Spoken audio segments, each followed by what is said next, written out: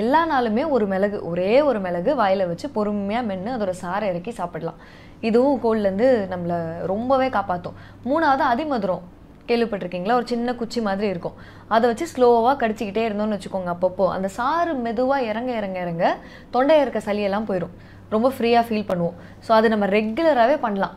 And தொடர்ந்து பண்ண வேண்டிய இன்னொரு ஒரு முக்கியமான விஷயம் கோல்டு ஸ்பெசிஃபிக்கலி தொண்டை ரீஜனில் இருக்குன்னு ஃபீல் பண்ணோன்னா தொண்டை ஒரு மாதிரி கரக்கரப்பு இருந்தாலோ எரிச்சல் இருந்தாலோ ரொம்ப முக்கியமாக பண்ண வேண்டியது உப்பு தண்ணி போட்டு கார்கிள் பண்ணுறது அது சூடான தண்ணியில் போட்டுட்டு நல்லா வாயை கொப்பளிச்சோன்னா எவ்ரிடே அது பண்ண பண்ண ஒரு பத்து நிமிஷம் பண்ணால் போதும்.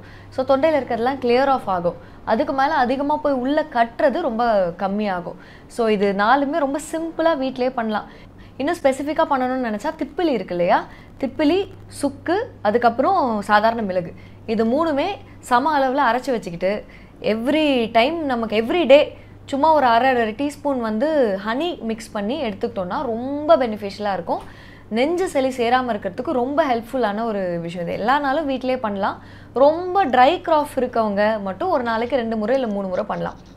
இல்லை சுடு தண்ணியில் போட்டு கூட கொஞ்சம் அதை கொதிக்க வச்சு டீ மாதிரி கூட குடிச்சிக்கலாம்.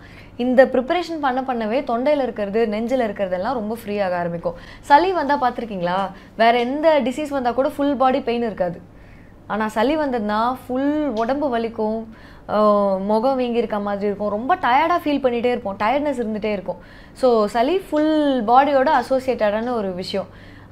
ஆயுர்வேதத்தில் பார்த்தீங்கன்னா கபம்னு சொல்லுவோம். கபம் வந்து இங்கே இதுக்கு அப்பர் ரெஸ்பிரேட்டரி ட்ராக்ட் இந்த ஏரியாவில் தான் அதோட ஸ்தானம் அப்படின்னு சொல்லுவோம்.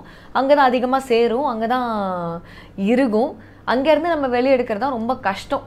ஸோ இதுதான் ஆயுர்வேதாவில் சொல்கிறது பட் கோல்டு வந்தால் ஃபுல் பாடி பெயின் வந்து ரொம்ப காமனான விஷயம்.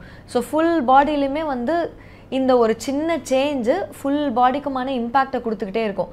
அதனாலவே கோல்டு இருக்கும்போது சுடு தண்ணி குடிச்சிட்டே இருக்கிறது ரொம்ப ரொம்ப நல்லது. சுடு தண்ணி நம்ம நினைக்கிறோம் வெறும் டைஜஷன் பார்க்கில் மட்டும்தான் ஏதோ ஒன்று பண்ண போகுது. நம்மளோட ஜீரணம் மட்டும் சரி பண்ணுற வேலை இருக்கும் சுடு தண்ணிக்கு அப்படி கிடையாது. சுடு தண்ணி எடுக்க எடுக்க உடம்பு அலுப்பு உடல் வலி ரொம்ப ரொம்ப குறையும். ஸோ அது சுடு தண்ணியோட பெஸ்ட்டு திங் ஈவன் அது வின்டர் ஆர் சம்மர் எப்போ வேணாலுமே சுடு தண்ணி குடிக்கலாம். எப்போ வேணாலும் சுடு தண்ணி குடிக்கலாம். அண்ட் த்ரூ அவுட் சுடு தண்ணி குடிக்கிறது ரொம்ப நல்லது.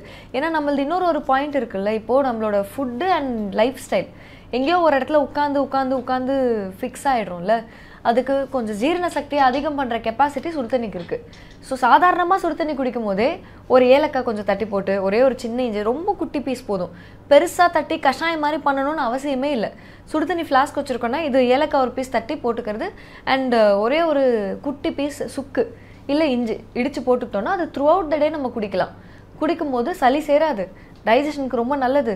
பாடி பெயின் இல்லாமல் பார்த்துக்கும் ஸோ இது ரொம்ப ஹெல்ப்ஃபுல்லாக இருக்கும் பாடி பெயினுக்கு ஸ்பெசிஃபிக்காக கோல்டுனால